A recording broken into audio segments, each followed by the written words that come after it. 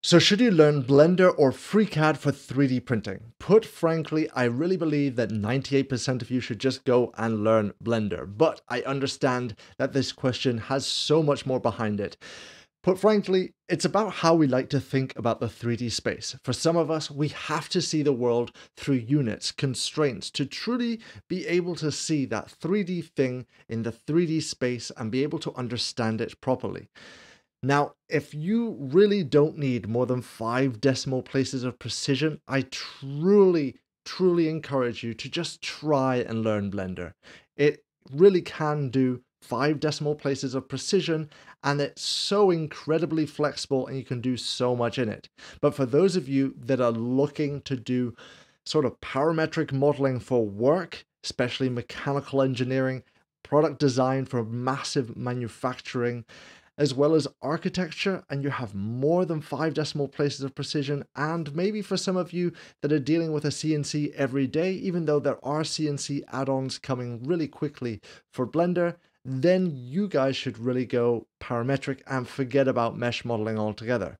But just be aware that inside of Blender, you can do hard surface and organic modeling really quickly and easily without having to deal with the numbers of it. You get to work with photogrammetry very quickly and easily. You can do faux parametric models again quickly and easily, and you're going to be able to do full parametric models using Blender's no- geometry node system, which some would even argue you already can, but I would say you still need about a year till that is fully fleshed out. But most importantly, especially for 3D printing, is you get to play around with STLs and 3MFs really easily inside of Blender. You can do whatever it is that you want to do with it, be it a small edit or complete change, you can do that inside of Blender. Now, don't get me wrong, you can do that inside of a parametric program, but it's a bit like hammering in a screw in the sense that it will do it, but it's definitely not made for that. So, as you can see, I am definitely a little bit more biased to Blender. Now, that's got nothing to do that I have a free course, a paid course, and two years of content. It truly is because I've been both on the parametric side and on the organic modeling side. And then when I found Blender and I was able to merge those two worlds into one, my mind was blown. And I truly believe that the maker community don't really give Blender that chance sometimes because they just see, oh, that is just for organic modeling, that's it. And that's why I've made Maker Tales so Blender focused so that I can really open up that door to as many people as possible. Now, I think the best way to go forward from here is I'm just going to go to the top most popular sites out there, look at the most popular files on the STLs, the 3MFs, and I'll just point out which are literally impossible in Blender and which would be a pain in Blender. And see what happens. Starting it all off with the OG of Thingiverse. So let's take a look at the front page right here. Benchy, feel like I could completely make this. This one can be done, especially now that I've got my gear add-on.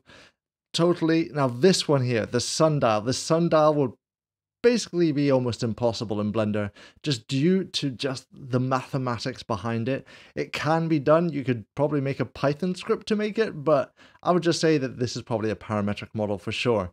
Then going down here, is there anything that truly stands out that just would not be possible in Blender?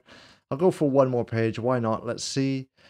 There's nothing just... No. Everything here is 100% possible to do in Blender. Now let's go over to My Mini Factory. Now, My Mini Factory, of course, doesn't quite represent it as well because it's a lot of organic modeling in here. And this here, yeah, all of this is pretty much telling me it would be Blender. Let me just check that one. I'll see how that one's built up. But all of this would definitely be possible in Blender. Let's check that file there, that card stacking one. Yep, definitely possible in Blender. So let's go on to Thangs. So we're here in Thangs. Let's see if there's anything here. Anything that's popping out to me is saying it could not be done in Blender. I don't think so. Let me see. I'm, I'll just carry on for a little bit more. This might be a little bit of pain, but it is definitely possible. I'm sure that was a pain to do in a CAD program as well. Um, this, I would say, a little bit, because NURBS, and curved surfaces inside of Blender. Precision modeling and curves right this minute, uh, it's one of the things that sort of still needs to be loved in Blender, but it's definitely getting there. Okay, no, there's nothing here that I feel cannot be done in Blender. Maybe this one, let's take a look. Um, let's look at the design properly. Uh, let's see if there's anything here that seems ridiculous. No, that is... Yeah, I could definitely do that in Blender pretty quickly, actually. Um, so let's go on to the next one with Prusa Prints. And let's see here. Um, I would say a little bit this, but uh, it, it's a tricky thing. There's there's a difference between can you design it and how many prototypes did they do before they got to the final design. So yes, it's definitely possible in Blender, and I'm sure they did plenty of prototypes to get to that end result. Anything else that's very quickly here. I'll just carry on going down. Probably this a little bit, just because of the way that the teeth are arranged there. Now you can definitely do that for sure. Actually, no, I would say it's actually quite easy now that I'm thinking it through. It actually wouldn't be too hard. This here, the holder, no, possible, completely possible. There is nothing. Uh, why am I finding this so hard? Even the cryptex, cryptex are fundamentally quite simple once you understand how what exactly and how they work. So let's see anything, anything. Come on. Okay, you know what? Let me find a site that I know for sure there's going to be something that cannot be done in Blender. So here we go, going to the complete other end of the spectrum, which is CAD. So in GrabCAD, surely there's plenty here that can't be done in Blender.